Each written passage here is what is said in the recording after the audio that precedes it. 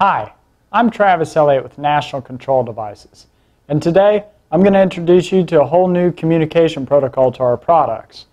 We finally found an embedded Wi-Fi solution that is good enough, we think, to put into our products.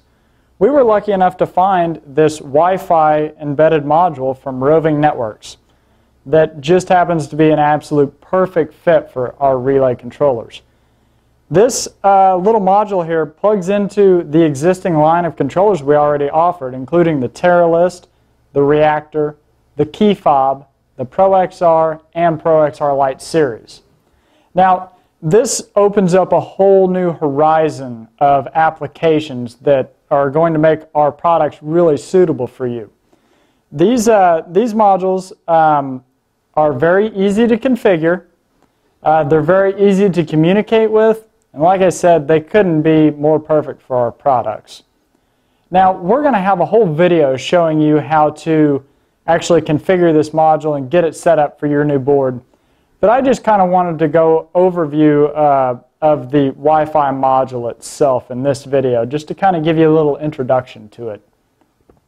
Now, this module accepts UDP and TCP socket connections, which really uh, make it useful in a wide array of applications.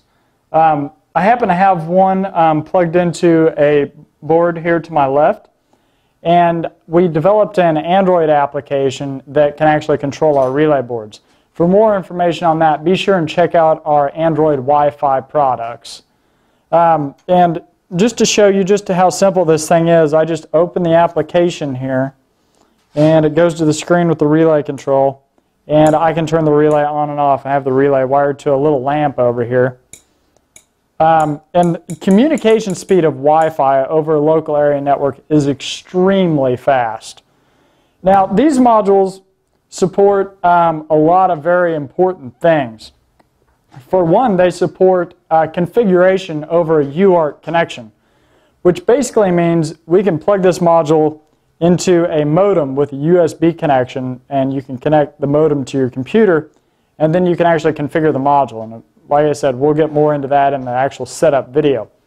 But this is extremely, extremely important with Wi-Fi devices because if the device is Wi-Fi and it doesn't have any kind of wired connection for configuration, well, it's kind of the chicken or the egg thing, you know you can't get the Wi-Fi module onto your network and communicate with it to configure it without configuring it for your network. So being able to just take this Wi-Fi module and plug it into this modem and then plug that into your computer and run a configuration utility is extremely important.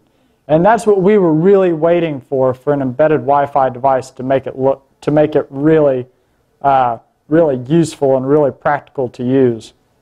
Um, another very important thing is these modules do support static IP addressing.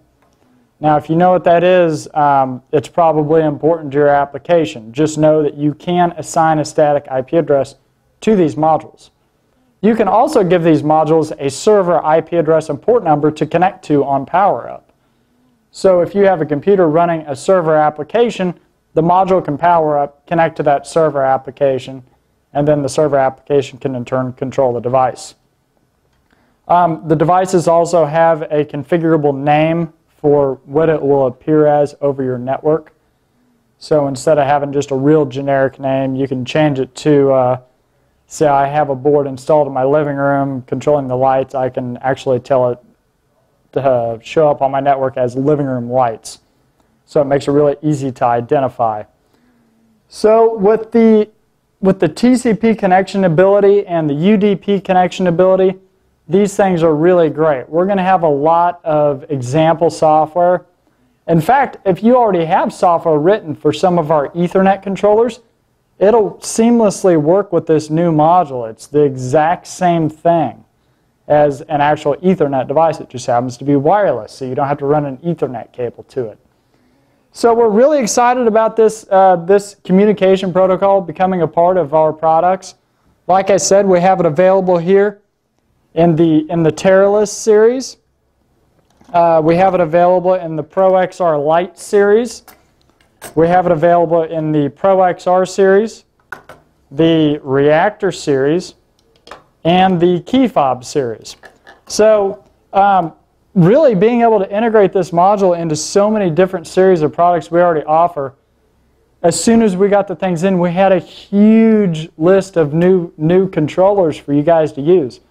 So I think that these things are going to work really well for you guys. I'm really excited to get these out on the market and for you all to start using them and giving us feedback, and, and we just can continue to make the product better.